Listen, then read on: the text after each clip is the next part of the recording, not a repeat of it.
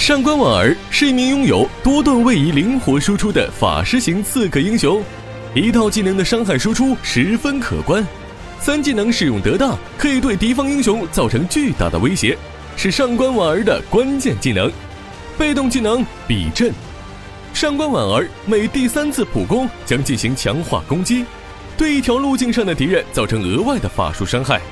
上官婉儿各个技能的笔墨相互碰触的时候会迸发比例，对附近的敌人造成法术伤害。同时，上官婉儿触碰比例恢复一定的生命值，并激活强化普攻。被动技能的效果，强化上官婉儿普攻的同时，使得上官婉儿的连招更具有杀伤力。一技能转法即逝，上官婉儿朝指定方向挥出一记力道苍劲的笔墨。笔墨将会迅速减缓飞行速度，并对触碰的敌人造成法术伤害。当达到最远距离时，笔墨将会爆炸散开，对附近敌人造成法术伤害。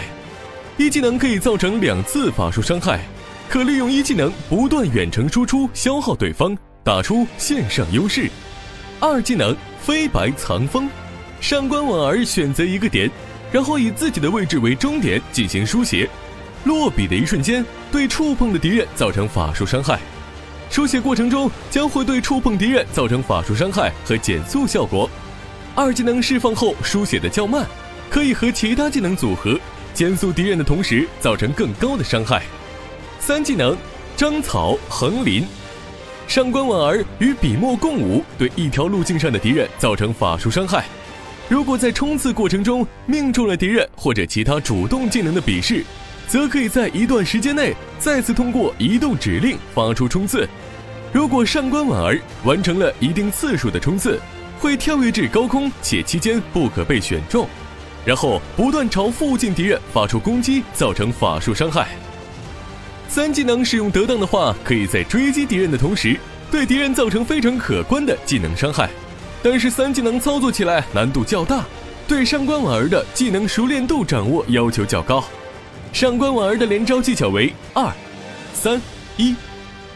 二技能减速敌人，开三技能，并使用方向键持续冲刺，最后使用一技能打出伤害。上官婉儿合理的掌握技能连招是玩好这个英雄的关键，可以利用敌方小兵和其他技能积累三技能的冲刺次数，更快的触发后续伤害。当然，上官婉儿的操作性十足，但比较害怕被控制技能限制。